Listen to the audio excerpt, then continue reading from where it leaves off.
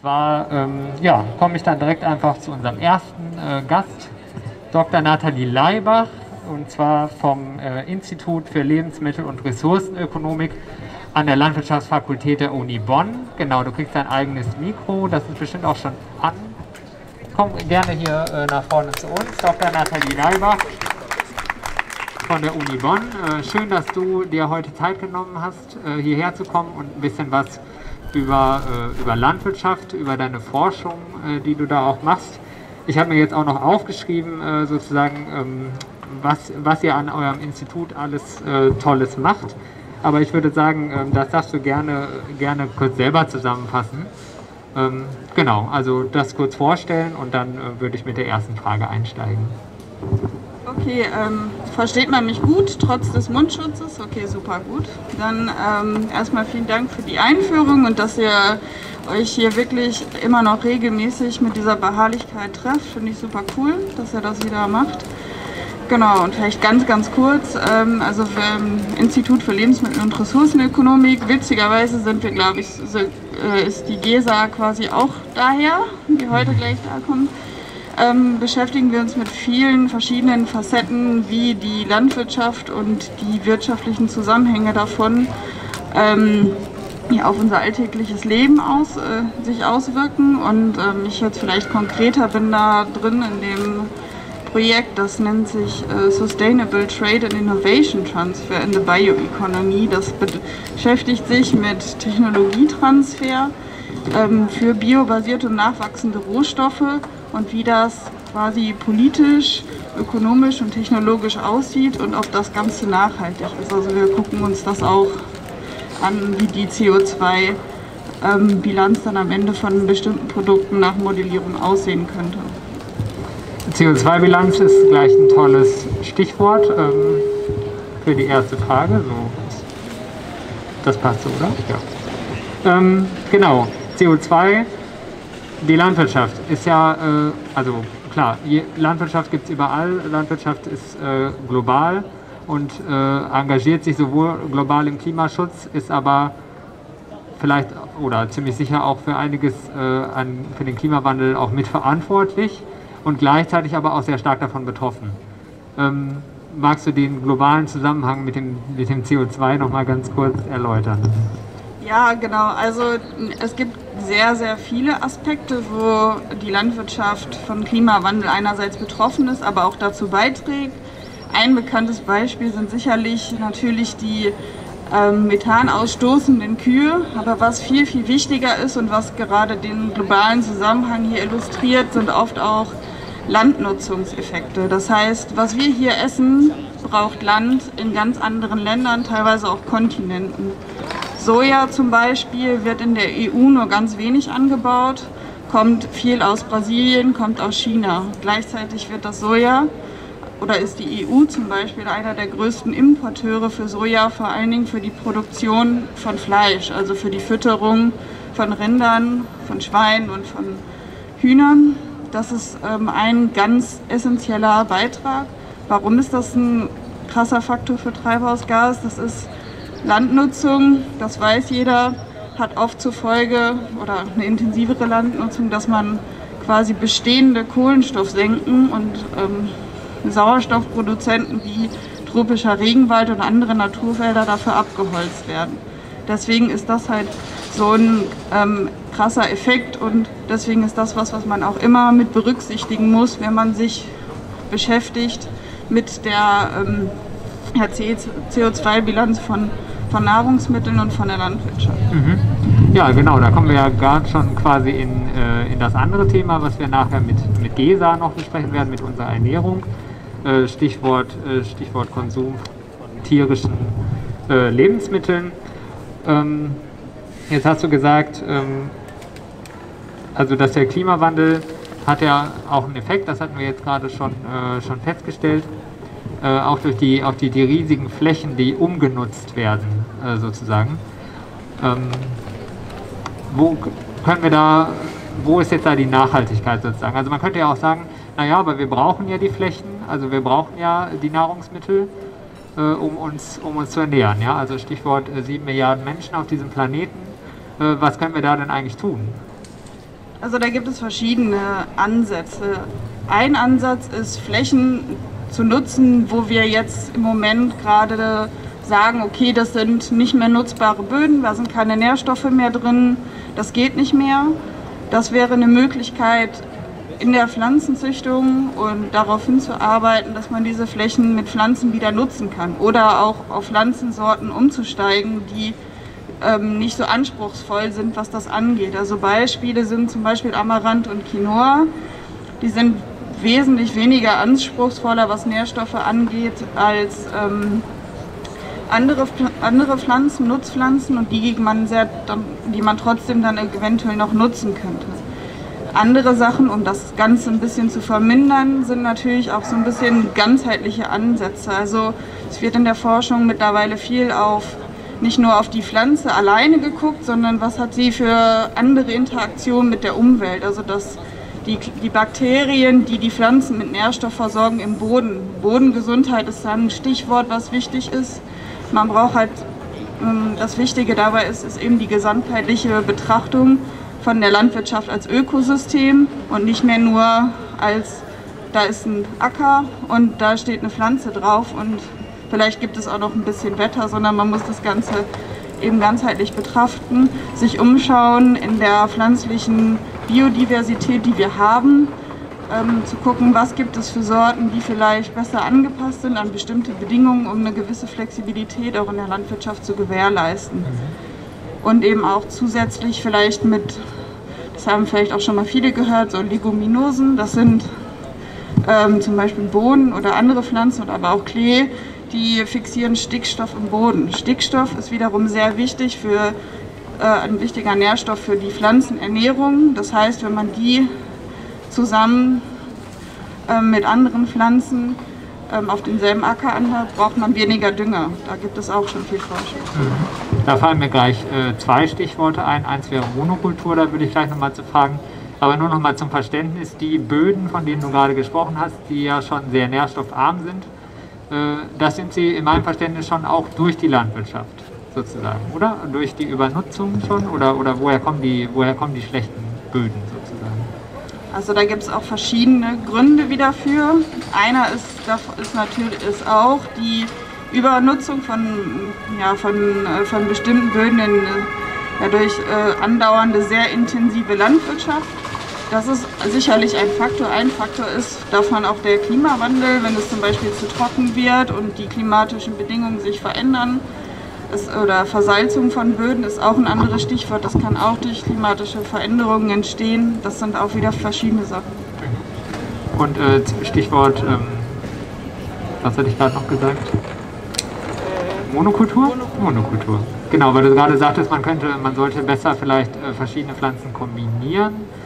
Ähm, würde das dann auch den Ertrag steigern und gleichzeitig wäre das gut für die Böden oder also das ist auch eine Frage, die lässt sich jetzt auch nicht so ganz so einfach leider beantworten. Ne? Da gibt es, es gibt viel Forschung dazu, wo man solche Ansätze verfolgt und äh, guckt, wie ähm, sind eben solche, ja, ich sag mal so Fruchtfolgen. Das ist aber auch kein neues Prinzip, das gibt es schon länger, dass man das macht, also wechseljährig quasi verschiedene Pflanzensorten auf den Böden anbringt äh, anbringt, genau, ähm, anbaut und äh, genau und dann ähm, ist es aber so, dass wenn man halt über die lange Jahre mit der Boden werden halt sehr viele Pflanzen aus dem Nährstoff gezogen. Das heißt, wenn man jetzt hingehen würde und sich vielleicht ähm, im Vorfeld besser darüber informieren würde, was man halt für einen Boden hat, was der braucht, was da drin ist, mhm. auch an anderen Organismen und dann sich besser überlegt, was für Pflanzen macht es, macht es Sinn, dort anzubauen auch eben vielleicht in Kombination mit anderen Pflanzen, nicht nur als Monokultur, dann kann das funktionieren. Man muss aber gleichzeitig sagen, dass der Anbau von ähm, Monokulturen natürlich für die landwirtschaftliche Praxis, wenn man jetzt mal aus der Perspektive der Landwirte schaut, mhm. natürlich ähm, die, das alles viel einfacher macht. Also wenn man eine Pflanzensorte hat, kann man sich vorstellen, ist das halt in der Ernte viel einfacher. Ähm, da ähm, wirklich die Ernte durchzuführen, als wenn man jetzt verschiedene große Pflanzen nebeneinander hat. Da kann man dann auch schon wieder nicht auf Maschinen so gut zurückgreifen. Also man muss halt immer so ein bisschen abwägen. Aber generell gehen halt die neueren Ansätze wirklich auf eine systemischere Denke, die das ganze Ökosystem mit einbeziehen, hinweg von diesem Ansatz. Spannend. Jetzt hattest du ja vorhin schon auch Stichwort äh, äh Quinoa und Amaranth erwähnt.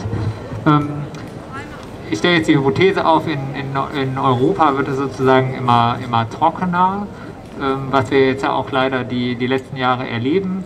Was werden wir also in Zukunft für Pflanzen anbauen? Werden wir vielleicht in Zukunft ganz viel äh, Quinoa anbauen in Europa? Also das passiert tatsächlich immer mehr, dass es Versuche zum Beispiel gibt, auch andere Pflanzen, die jetzt hier immer, die vielleicht schlechter mit den Bedingungen klarkommen und woanders schon in ähnlich oder in Regionen angebaut werden, wo es wärmer ist. Das ist ein Beispiel, das passiert immer mehr. Es gibt aber natürlich viele andere Optionen. Es gibt noch, es gibt Hirse, dann ähm, kenne ich ein Forschungsprojekt, die, das beschäftigt sich mit chinesischer Yam. Das ist eine Pflanze, die hat einen sehr hohen Stärkegehalt, wird aber vorwiegend in, im asiatischen Raum angebaut. Das ist auch eine Möglichkeit hier zu pflanzen. Also das Wichtige ist, dass man, glaube ich, sich einerseits die Diversität anguckt, andererseits aber viel mehr Forschung betreibt, wie können bestimmte Eigenschaften ähm, auf bestimmte Umweltreaktionen reagieren. Und was man halt auch macht, ist zum Beispiel sich ähm, alte oder noch nicht sehr hochgezüchtete Pflanzensorten anzugucken und deren Eigenschaften wieder in ähm, die Kultursorten einzuzüchten, um eben darüber halt auch ähm, wieder so ein bisschen mehr Resilienz ähm, in, die, in die Pflanzen reinzubekommen, weil was mhm. halt auch vielleicht ein Punkt ist, es gibt halt nicht wahrscheinlich nur mehr Trockenheit, sondern auch extremere Wetterverhältnisse. Also es wird wahrscheinlich trotzdem immer noch kalt werden, auch wenn es insgesamt wärmer wird. Okay, also das ist noch nicht entschieden sozusagen. Und äh, wir verlagern so ein bisschen den Fokus, das war gerade schon äh, interessant, Stichwort äh, Wissenschaft und so ein bisschen hinter die Kulissen schauen. Also was ist denn jetzt sozusagen eigentlich das, ähm, oder wie wie forscht ihr? Also wie versucht ihr herauszufinden, okay, was sind jetzt, was sind jetzt gute Pflanzen, was, was funktioniert nicht so gut? Ich höre ja immer wieder raus, es ist ja klar in der Wissenschaft, äh, es ist immer alles nicht so deutlich, äh, sondern äh, na, da muss man immer verschiedenste Faktoren berücksichtigen. Wie, wie geht ihr damit in der Praxis so? Steht ihr wirklich auf dem Feld und habt dann eure Versuchsfältchen oder wie funktioniert das? Das ist auch wieder ein breites Spektrum. Das eine ist, es geht quasi vom äh, Labor, von der Petrischale bis hin zum Versuchsfeld. Letztlich ist es so, ähm, wo man, man guckt sich erstmal kleinere Sachen wirklich im Gewächshaus an, ver vergleicht verschiedene Pflanzen miteinander mit verschiedenen Eigenschaften in der Forschung benutzt man auch gentechnische Methoden, um diesen direkten Zugang, ähm, um das halt einfacher zu gestalten und um konkret sich mit einer Eigenschaft auseinanderzusetzen. Man macht aber auch Mutagenese und guckt dann da weiter.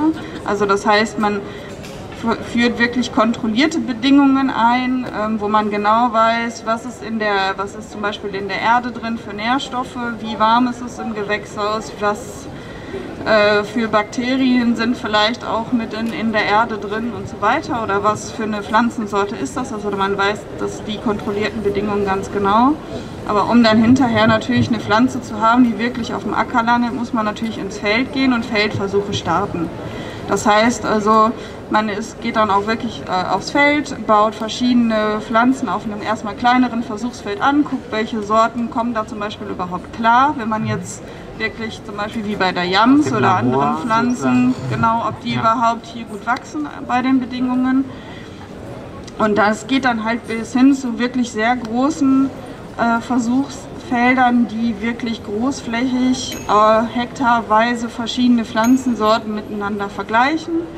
Ähm, vielleicht teilweise auch an verschiedenen Böden ähm, oder eben auch verschiedene ähm, Formen. Also es gibt auch viel Forschung dazu, wo man wirklich konventionellen Landbau direkt mit ökologischem Landbau mhm. vergleicht. Ähm, genau, um dann halt zu gucken, wenn man es direkt nebeneinander macht, wie sieht es denn dann aus? Oh ja, spannend. Darauf, da kommen wir auf jeden Fall gleich auch nochmal zu. Mit den Böden nochmal, also ihr bestimmt ja sozusagen dann vorher genau, was ist das jetzt für ein Boden. Jetzt, ähm, also ich meine, ich habe äh, mal Geografie studiert, das heißt, äh, ich habe da tatsächlich auch mal, auch mal ein, ein Modul Bodenkunde belegt. Aber wenn man jetzt so normal unterwegs ist, denkt man so, irgendwie Boden ist Boden. Aber das ist natürlich nicht so. Also wie, wie unterscheidet ihr da die Böden oder was ist da der, so für, für das allgemeine Publikum, sage ich jetzt mal? Also da gibt es natürlich also viele spezifische Unterscheidungsmöglichkeiten, aber es gibt zum Beispiel halt sehr Humusböden, also sehr nachhal äh, äh, nährstoffhaltige Böden. Dann gibt es wieder sehr sandige Böden, die zum Beispiel die Eigenschaft haben, dass man, dass halt Pflanzen, die zum Beispiel sehr großes Wurzelnetzwerk haben und dicke Wurzeln, sich darin sehr wohlfühlen. Ähm, genau, so, zum Beispiel sowas. Oder dann ähm, gibt es natürlich auch eben sehr trockene, lehmhaltige Böden. Das sind halt so diese ganz groben Beschaffenheiten. Dann gibt es, dann ist der Salzgehalt ein wichtiger Faktor im Boden auch. Genau. Das messt ihr dann alles vorher und versucht verschiedene Böden zu finden und da die gleiche Pflanze anzubauen und dann zu gucken, wie die sich verhalten. Genau, also in der Regel ist es so, dass man dann mit anderen Forschern kooperiert, die darauf spezialisiert sind, halt den Mineralstoffgehalt im Boden zu messen. Da nimmt man dann Bodenproben und schickt die dann weg und dann werden eben genau diese Gehalte und die Leitfähigkeit der Böden und so weiter alles überprüft, genau. Ja, cool. Und da ähm, eine letzte Frage zu dem Thema. Kooperiert ihr ja auch äh, mit Bauern dann wahrscheinlich, sozusagen, die das für euch anbauen, also die das dann in der Praxis für euch ausprobieren? Oder wie? Oder habt ihr denn selber die Versuchsflächen? Das ist auch wieder sehr, sehr unterschiedlich. Das kommt immer sehr auf die Versuche an. Also es gibt immer kleinere Versuchsfelder, wo ich auch das da habe ich auch eigene Erfahrungen mit von. Also das ist wirklich so ein kleines Stück Acker, das wirklich vielleicht so groß ist, keine Ahnung, kleiner als dieser Münsterplatz, Kleiner. vielleicht einmal hier so ein... Einmal äh, unser, unser Bereich hier. Ja, genau, so ungefähr, ja. genau, mhm. wo man dann halt so die ersten wirklich Forschungsversuche macht. Wenn man dann natürlich größer reingeht, also was viel gemacht wird, ist mit, ähm, da habe ich auch in einem, war ich auch selber mit im, im Projekt drin, ähm, wo man mit wirklich Züchtern, also Pflanzenzüchtern, die sich darauf spezialisiert haben, eben den Landwirten ähm, Sorten anzubieten. Die haben dann auch eigene Flächen, um sich das halt im größeren Maßstab dann anzugucken. Manchmal, wenn man es schafft, ähm, in so ein Kooperationsprojekt mit Landwirten zu gehen, dann ähm, hat man da auch Zugriff drauf, aber das ist natürlich schwierig. Was zum Beispiel die Uni Bonn hat, die hat einen riesigen, den Campus Klein-Altendorf, ähm, wo halt auch viel größere Ackerflächen zur Verfügung stehen, ne? zusätzlich zu Gewächshäusern und so weiter. Genau, das ist aber nicht selbstverständlich, das ist halt, weil es hier eine landwirtschaftliche Fakultät gibt. Mhm. Genau.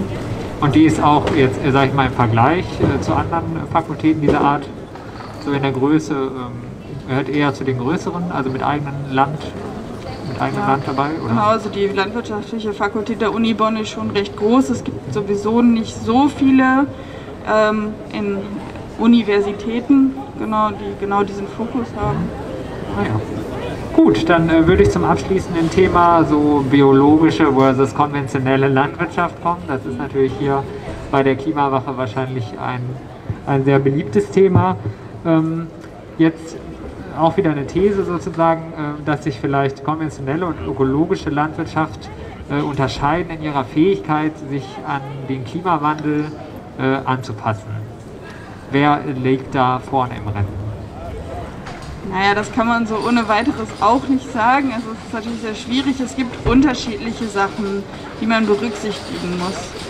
Ähm, was man teilweise gesehen hat, ist dadurch, dass, ähm, ich sag mal so, die Böden ähm, teilweise durch, äh, dadurch, dass die nicht so ganz geschädigt sind durch zum Beispiel Pestizide und so weiter, dass ähm, der, das Mikrobiom, also die kleinen Organismen, die im Boden leben und für die Pflanzenversorgung wichtig sind, teilweise ein bisschen besser noch beschaffen sind beim ökologischen Landbau und dadurch die Aufnahmefähigkeit von Wasser im Boden ein bisschen besser ist, weswegen der ökologische Landbau manchmal besser auf Trockenheit reagieren kann. Das kann man aber auch nicht so pauschalisieren, weil zum Beispiel auch ähm, Methoden aus dem konventionellen äh, natürlich, ähm, also die Pflanzenzüchtung hat da halt viel mehr Möglichkeiten, um durch resilientere Pflanzensorten dann darauf zu reagieren.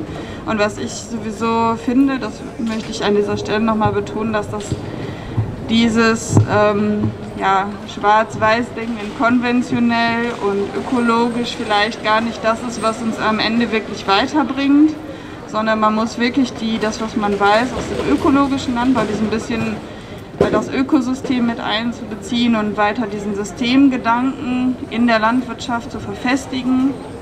Das muss man weiter betrachten. Ähm, wenn es, es aber Sachen gibt, die aus dem konventionellen Landbau vielleicht auch ähm, was vielversprechend sind und das halt klar ist, dass das nicht irgendwie einen übermäßigen Dünger oder Pestizid oder was weiß ich Verbrauch beinhaltet, sondern das sogar reduzieren kann, wenn man da gute Konzepte findet, dann ähm, finde ich, ist das eher der Weg, den man gehen muss. Also, dass man nicht dieses Lagerdenken hat, sondern sagen muss, eigentlich ähm, müssen wir gucken, wie kann es am besten zusammengehen. Das heißt also eher noch unentschieden, eher sogar am besten die Synthese, also die Verbindung aus, aus beiden Sachen irgendwie suchen. Ähm, hast du denn, äh, was sind denn verschiedene Herausforderungen? Also wer hat jetzt die konventionelle Landwirtschaft, hat wahrscheinlich andere Herausforderungen äh, im Klimawandel als jetzt die äh, biologische, bio, biodynamische Landwirtschaft. Hast du da noch was, was dir so spontan jetzt doch nochmal im Gegensatz sozusagen einfällt? Also da gibt es auch wieder, also es ist zum Beispiel ja so, wenn man, wenn man jetzt zum Beispiel ähm, einen höheren Insektenbefall von neuen Insekten, die hier nicht heimisch waren, äh, hat, dann hat natürlich zum Beispiel der konventionelle, äh, konventionelle Landbau äh, schnellere Methoden, um darauf zu reagieren und die Ernten dann zu schützen. Zusätzlich ähm, ist, es, ist es so, dass ähm, jetzt bei akuter Trockenheit vielleicht der ökologische Landbau etwas ähm, vielleicht besser in Teilen angepasst ist.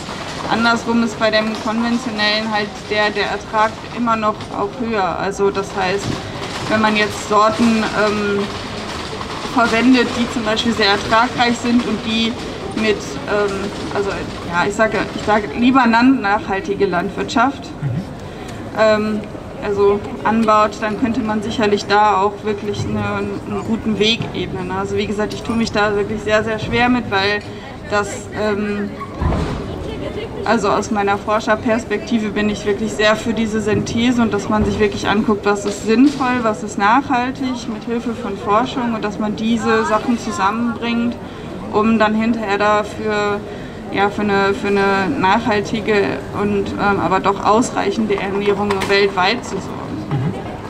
Also das Gute sozusagen aus beiden Welten verbinden, äh, dein Auftrag als, als Wissenschaftlerin an der Uni Bonn. Äh, vielen Dank, Dr. Nathalie Leibach, dass du äh, heute Abend hier bei uns warst. Ähm, ich hoffe, du bleibst noch ein bisschen und hörst dir den Rest auch noch an.